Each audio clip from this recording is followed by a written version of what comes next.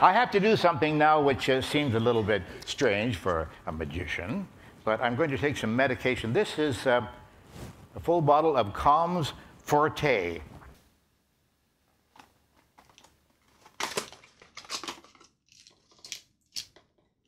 Uh, I will take enough of these.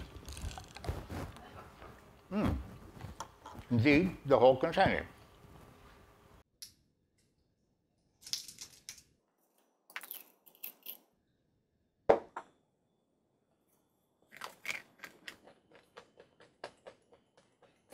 Jesus Christ.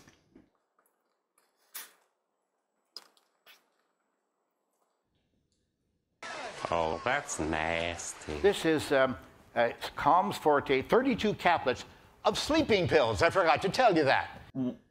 What? I just ingested six and a half days worth of sleeping pills. Uh, what?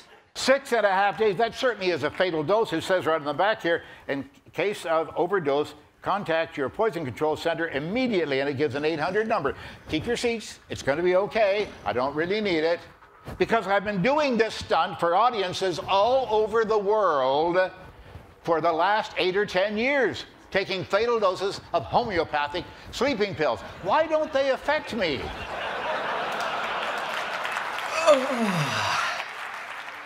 This is homeopathy debunked.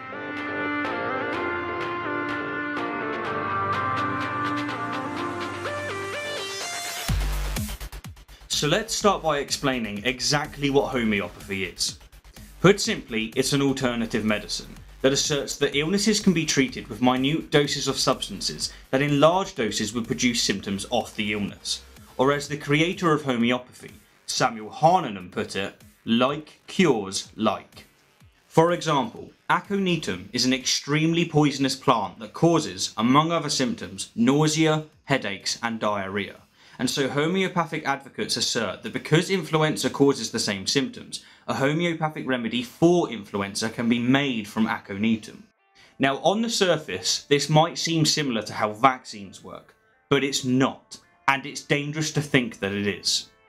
To quote Richard Dawkins, Unlike a vaccine that introduces a diminished form of a virus into the body in order to provoke its immune system, like cures like makes the unfounded assumption that what causes similar symptoms can cure those symptoms. Or in other words, vaccines prevent an illness by exposing the body to a small amount of the illness, which causes the body to create antibodies and become resistant while homeopathy attempts to cure an illness by finding a substance that causes similar symptoms and then giving the body this substance in the smallest possible dose. Yeah, you heard that right. Homeopathy asserts that the smaller the dose, the more potent it is. So with that said, you might be wondering, how exactly is homeopathic medicine made? Well, to create a homeopathic remedy for influenza, for example, a homeopathic technician grinds aconitum into a very coarse grain, mixes it with either water, alcohol or a combination of the two, and then thoroughly shakes the solution. From here, the technician then mixes one part of this solution with 10 parts water, alcohol or a combination of the two, and then puts it through a process called succession, which is a deliberately verbose way of saying it's shaken. And finally, this process, which is called potentization, is repeated until the solution is as diluted as desired, which is normally 30 times, which, to put this into perspective, means that you'd need to drink 8,000 gallons of the final solution to ingest one molecule of the original solution, which is more liquid than the average person drinks in 20 years. So yeah, these may as well be caffeine. Now I'd like to think that just knowing the principles behind homeopathy how it's made, the fact that it deliberately obfuscates language, and the fact that it packages itself as if it's real medicine would be enough to cause people to see it for the utter quackery that it is. But, if you're like me, you'll want hard science before you dismiss it entirely. And so, brace yourself. Peer review papers are coming, and this is just a handful of them. In 2005, the medical journal, The Lancet, conducted a meta-analysis of over 110 studies of homeopathy and 110 studies of matched conventional medical studies, and found that there was weak evidence for a specific effect of homeopathic remedies, and that this finding is compatible with the notion that the clinical effects of homeopathy are placebo effects.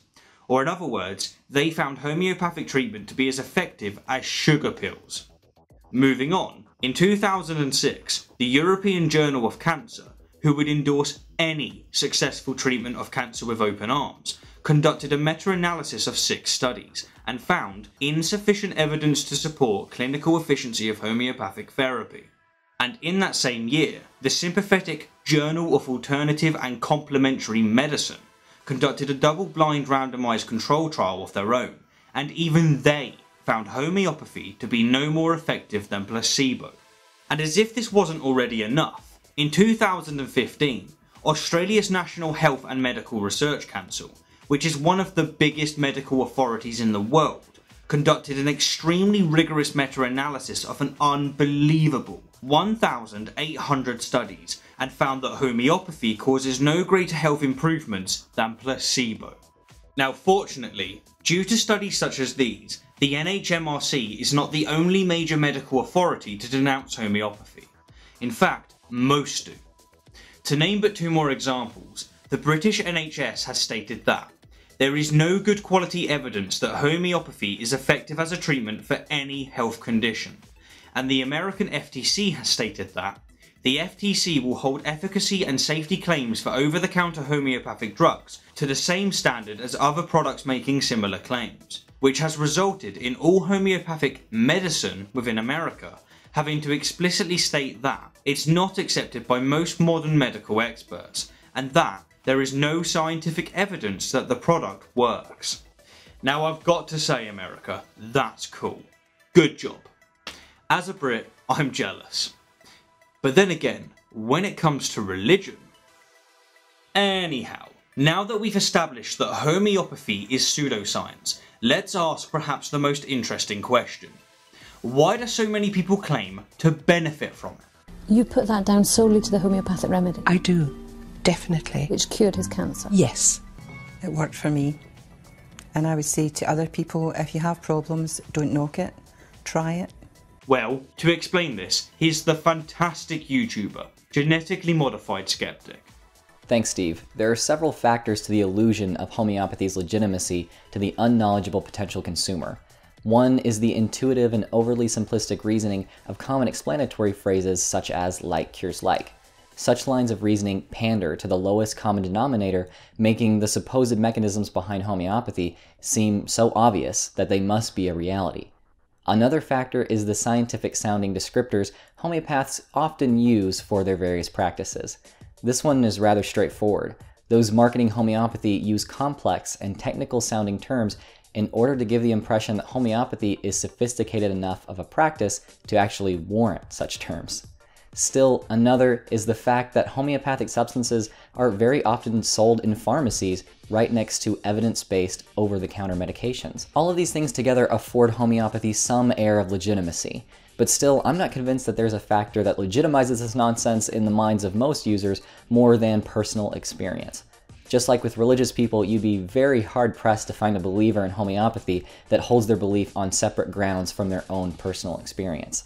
Those who proclaim the benefits of homeopathy do so because they have, more often than not, perceived benefits of its use in their own lives. I guess, like a lot of people, I fell in love with homeopathy because it rescued me in my darkest hour. I had a very interesting personal story that really cemented for me the value of homeopathy. What I experienced with homeopathy was absolutely incredible. But if homeopathy has been demonstrated not to work, how could so many have perceived its benefits?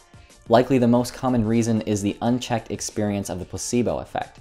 It's well known in the real medical community that the expectation of a symptom or a symptom's relief can actually create that symptom or its relief to a limited extent. This phenomenon is so common that in clinical trials of any given medication, researchers must compare the effects of the medication to the effects of placebo to ensure that the medication's effects are not more pronounced than those of simple expectation. By the means I've mentioned here, homeopathic substances and their purveyors create a powerful expectation in the mind of the user. This way, the user may perceive benefits of homeopathy even though it totes not a single effect in its own right. Another phenomenon that may explain the perception of benefit is the misinterpretation of a correlation between homeopathic treatment and the relief of symptoms or disease. Someone guilty of such misinterpretation might think something along the lines of the following I had a headache. I used homeopathic treatment. My headache went away, therefore my headache must have subsided because of the homeopathic treatment. But as the scientifically literate know, correlation does not imply causation. And again, the medical community is so aware of the issue of conflating the two that certain controls are implemented in all clinical trials in order to ensure that the effects observed are definitely a result of the treatment being tested. Personal experiences do not have such controls and prove unreliable in accurately reflecting the effects of any single factor involved. Most simply put, a person might have the flu, use homeopathic treatment, get better, and then cite the miraculous effects of homeopathy, when really, what cured them was their unaided immune system. These two possibilities are a huge part of the reason why anecdotes are not and should not be accepted as evidence for any medical treatment. However, upon closer examination of the culture surrounding much of alternative medicine, it's pretty apparent that people are actually encouraged, just as in religious circles, to cite their personal experience as evidence of their treatments of choice. Not to engage in too much tinfoil hattery here, but it does prove a shrewd marketing tactic to encourage your customers to embrace and tell others of their personal experiences with your product when your business is not allowed to make any medicinal claims. And mostly unrelated to my bit of speculation there, it does prove next to impossible to invalidate an emotion packed personal experience to the one who holds it. Because of this, personal experience, although demonstrably unreliable, is fiercely defended as a means to prove the efficacy of homeopathy. Thanks for having me on, Steve. I really appreciate it. And to all those who are watching, I hope to see you over on my channel. Cheers, Drew. I truly appreciate your input, and I'm sure that you've intrigued my audience enough to check out your excellent content, to which there are links below please guys, do check him out. It would be really, really cool if we could bump him to 3.5k subs. Anyhow, to recap, homeopathy is quacktastic, pseudoscientific nonsense. And like all alternative medicine, it's dangerous because it encourages decent but ignorant people to take non-evidence-based products over evidence-based medicine. And the result is often, and needlessly, catastrophic. As always, thank you kindly for the view. Thank you Drew for taking the time to join me in this video. And of course, an extra special thank you to my kind patrons. You are, as always, awesome incarnate. Oh, and on that note, the winner of this month's Patron of the Month is Russell TJ. You've won the book Logically Fallacious by Bo Bennett. Congrats. I'll PM you through the back end of Patreon with details. And finally, I'm going to leave you with a quote from Dara Ó Briain. The great thing with homeopathy is you can't overdose on it. You could fucking drown. Uh, I'm sorry. It seems harsh, and I used to be much more generous about it, but right now I would take homeopaths and I'd put them in a big sack with psychics, astrologers, and priests, and I'd close the top of the sack with string and I'd hit them all with sticks. And I really wouldn't worry who got the worst of the belt of the sticks, right?